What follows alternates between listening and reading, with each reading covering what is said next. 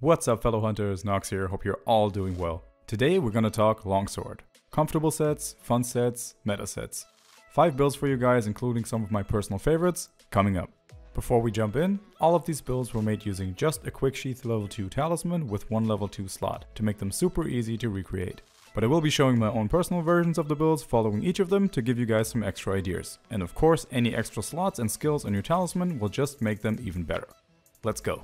We're gonna start off with a build that is a lot of fun to use and one of my personal favorites, the Showstopper, a Paralysis Longsword build using the Rampage Blade S.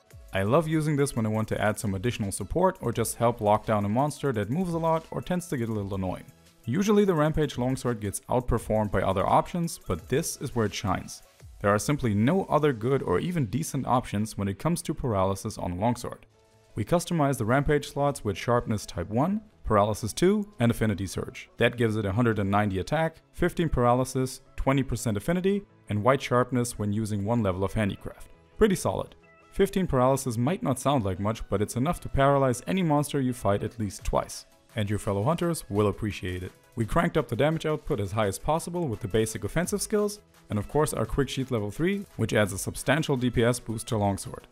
All builds will have at least Protective Polish level 2 to keep our weapon at white sharpness for one full minute, and Speed Sharpening level 3 to go along with that.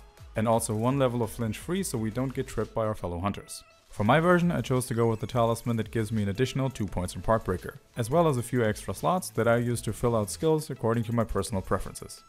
Next up is our first meta-focused option, the Invisible Truth. We're using the Phantom Mirage, which I'm sure everyone already knows has outstanding stats an incredible 228 attack due to our rampage boost, 15% affinity, a bunch of slots, and even a small defense bonus. As you probably already noticed, this build comes loaded with skills, and even has room for customization, even though we're using a quite limiting talisman. For example, you could switch the Anjanath to the Chrome Metal Coil from the previous build and go for Protective Polish level 3 instead of Attack Boost level 2, adding even more comfort to the build. Either way, this build will hit like a truck. You'll see a pattern in some of the armor parts and skills on these builds due to how efficient they are. For my version, I switched things around a bit to fit a different talisman. This allowed me to add a few more quality of life skills, an extra level in maximum might, and have slightly higher defense. Aside from that, it's pretty much the same. If you're enjoying the video so far, I'd greatly appreciate you giving it a thumbs up. It really helps out the channel. The Cold Night. Elemental longswords used to get wildly outdamaged by the raw options we have. But for a while now, we've had quite a few that can hold their own or even outdamage raw longswords in specific cases. The one we're using here is the Daora's Raid. 190 attack, a huge 45 ice, natural white sharpness, and a free level 1 slot. At first glance, this doesn't look super impressive. But when we factor in the Daora Soul Rampage boost, things get interesting. As soon as we strike an enemy, the Daora Soul will give us a 25% bonus to our affinity. This makes it super easy to have 100% crit chance on weak spots with this longsword. We're of course stacking ice attack up to level 5 here to get as much power out of it as possible. This build can do some serious damage to monsters like Rajang or the Diablos family who are weak to ice. I also just love the unique design and how this longsword changes from an axe to a scythe when your spirit meter is glowing. My version switches a few things around and allows me to have protective polish level 3 instead of level 2, but in exchange I'm losing one level of speed sharpening. Make sure you leave your own favorite elemental longswords in the comments below to help those that might be looking for some ideas. On to our next meta-focused option, the Val Dominator X. The X just standing for a variable that we'll get to in a second. There's very little to say about this build. We're using the Phantom Mirage as our weapon of choice here again, and running the full Valstrax set to make use of its amazing offensive potential. The thing to note here is that we don't have much room to fit in skills to raise our affinity, which is why it becomes advisable to bring along a fighter Palico that has the move called Rousing Roar. Once your Palico uses that move, you will instantly gain 30% affinity, which helps out a lot. This build has the highest DPS potential out of all of them.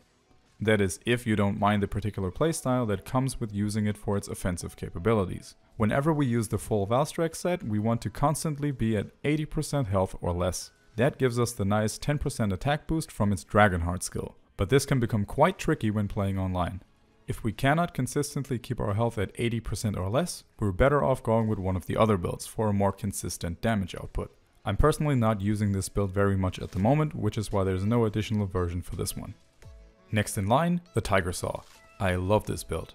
Not just because it hits really hard, but also because I've always loved the look of the Tigrex longswords. We're using the Tigrine Need, It has a ridiculous 230 attack, minus 20% affinity, and natural white sharpness. For the Rampage skill, we definitely want to get Silkbind boost for a massive damage increase on Wirebug moves. We have all our standard essentials, comfort skills, and a few extra levels in Critical Eye.